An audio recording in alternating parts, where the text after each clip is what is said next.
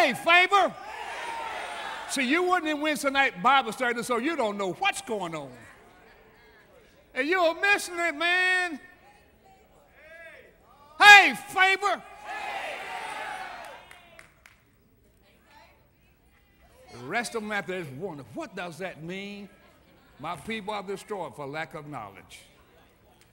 Take advantage of every opportunity you can get to hear what God is saying. And we'll be back Wednesday night talking on, hey, favor.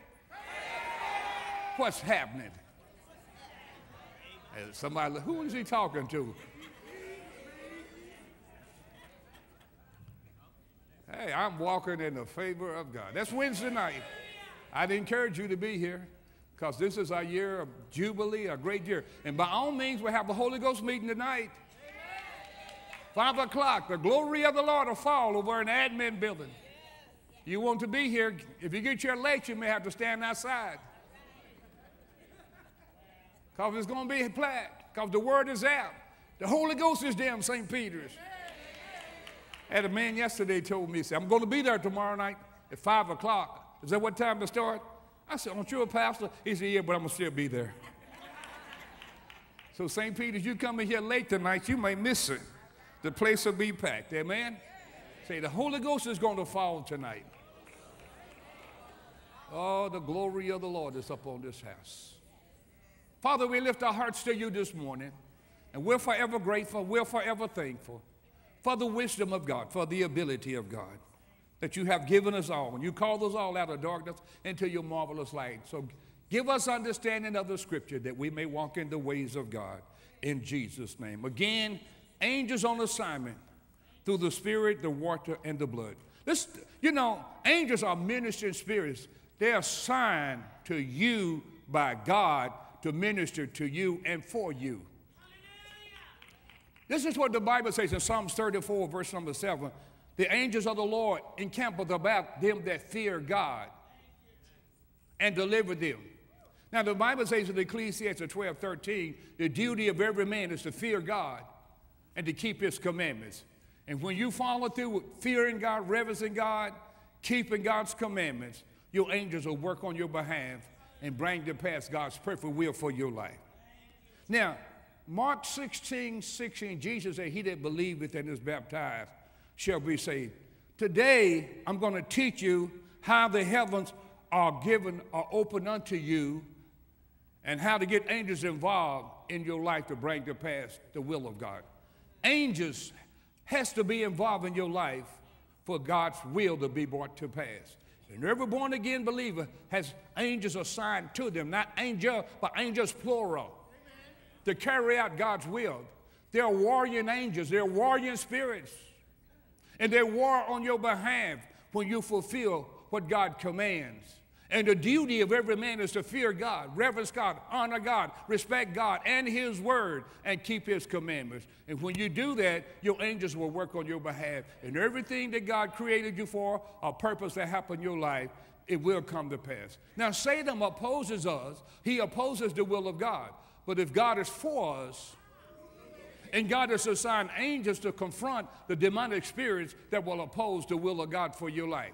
You can't get to where God called you to without the help of the Holy Spirit, the Father, the Son, and the Holy Ghost, and God's heavenly host, which is the angels of the Lord. Now, always remember, you and we are part of the heavenly host too. So we all have to work together. Amen. So let's start out. And again, I think you're going to learn some things here this morning and make you want to get baptized again and make you want to obey God because there's something good's going to happen to you.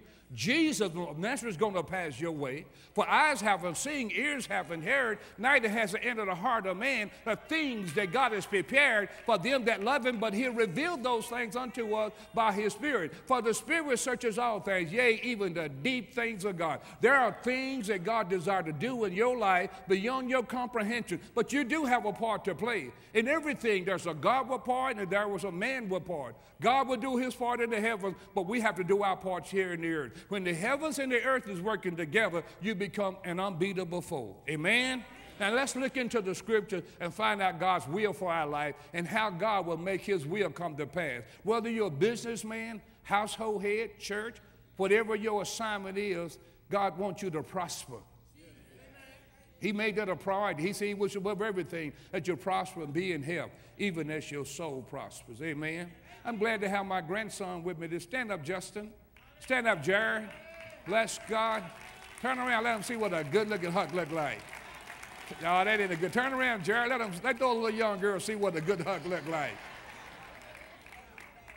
I grabbed him this morning and I just hugged him, and I got, I think it's seven grandsons. Good kids. Let me see if it's Ricky, Jake, Justin, Jared, JJ, Hampton.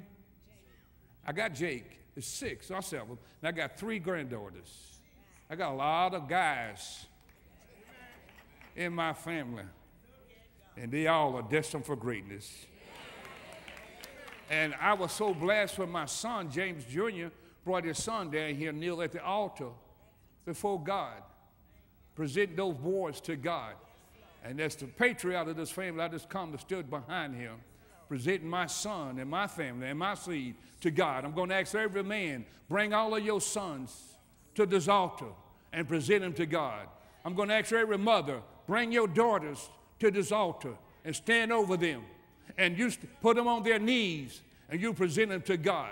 Because when you present something to God, that means you're consecrating them unto the Lord. And when God get involved in our life, whoa, when God get involved in our life, whoa, God always needs someone to represent him on high, in higher places. And while I was praying, I said, God, take my grandkids, take my son. I prayed the same prayer for the members of this church. God, take them to the highest level.